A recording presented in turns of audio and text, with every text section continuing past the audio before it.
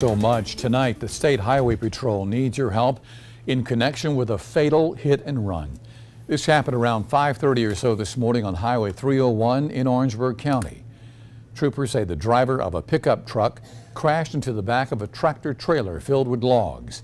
The crash left the driver of the pickup truck dead while the tractor trailer left the scene. If you believe you have any information that can help, you're urged to call Crime Stoppers at 1 crime SC.